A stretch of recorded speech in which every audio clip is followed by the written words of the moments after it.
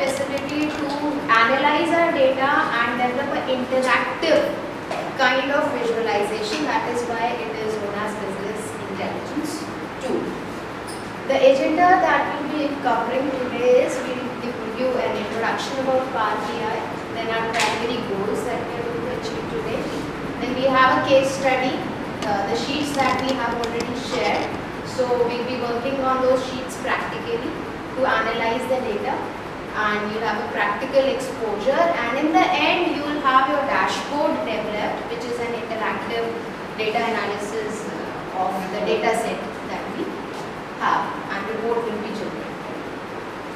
So starting with the introduction, See, uh, when we say Power BI, it is like, as, Pooja ma'am already said, that it is a business analytics tool.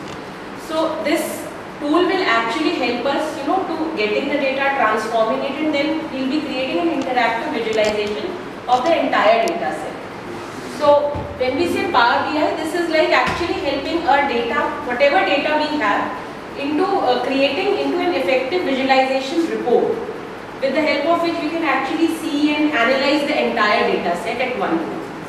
the reports we can generate with the help of Excel also. But in Excel, once you create a graph, then after that it's not interactive. In Power BI, when you create a graph, we'll link it, we'll develop a model and based on that model, we can selectively interact with it and interactive visualization will be there. For example, if you want to see a graph for a particular uh, sales for a particular month, then if you want to change the month, you just have to click on the month, change the month and the graph will accordingly change. So it is, it will be interactive. That is the basic difference. Now, uh, talking about the primary goal. See, when we say Power BI, the first thing what we have is the data source. Now, the data source can be, you know, it can be an Excel data sheet. It can be a data sheet which is present on the uh, cloud service. It can be a, a database, maybe an SQL Server database or maybe an Oracle database. So the first thing what we need is the data set. Of course, the data source can be any of these options which are available. Then once we get the data into the Power BI, what we will be do, doing will be transforming the data. But transforming means that we will be cleaning the data. Cleaning the data as per the requirement what we have. So if we want uh, whatever data we have, we want that the null data should not be there or maybe uh, you know the date should be visible in a particular way. So we can transform the data according to our requirement and then probably we can go ahead with whatever analysis we want to do. Now once we have transformed it, now what we want is we want to those different data sets which are there, which are which we have taken into a Power BI thing.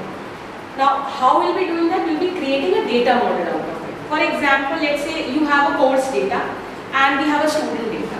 Now course data is a separate file and student data is a separate file. Now what we want is we want to connect both of them.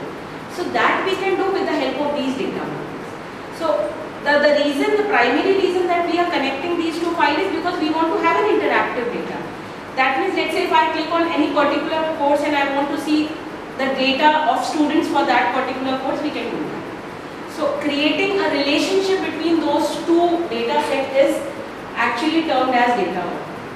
And theory behind this data model is based on database management systems uh, that you might have read about while doing your MBA. I know बहुत ज़्यादा याद नहीं होगा but there you might have read about entity relationship diagrams.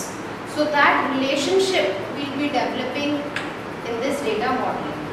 कि दो files के बीच में या दो data sets के बीच में relationship will develop. It could be one to one, one to many, and then based on that data model, visuals will be created.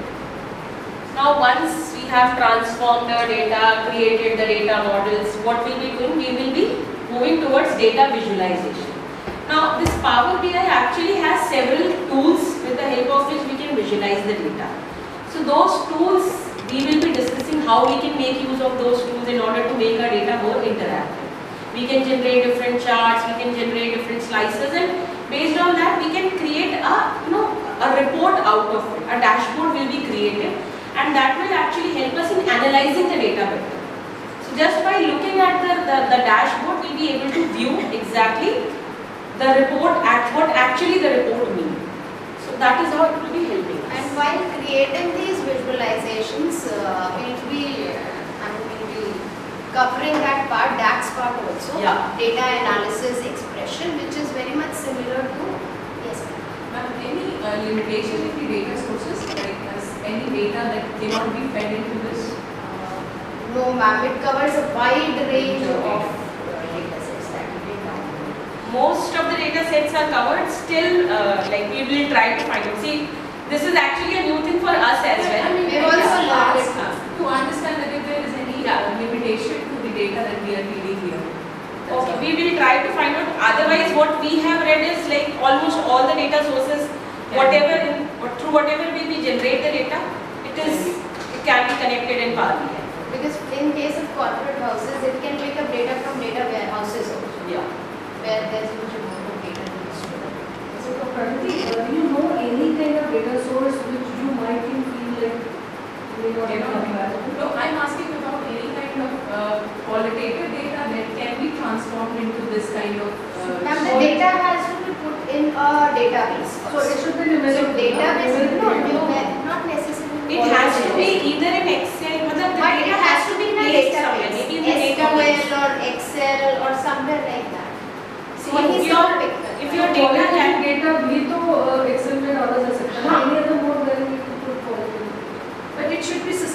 But it should be arranged Yeah, like say example, if you have thematic uh, data that you have, so I don't know if thematic data can be put it into this form. So maybe we should just find out. Yeah, I'll, I'll just try to find out. Otherwise, see, if we have any data set which can be, you know, placed in Excel or database or in, you know, in MS Access, that data can actually be imported into Power BI and can be easily, you know, transformed.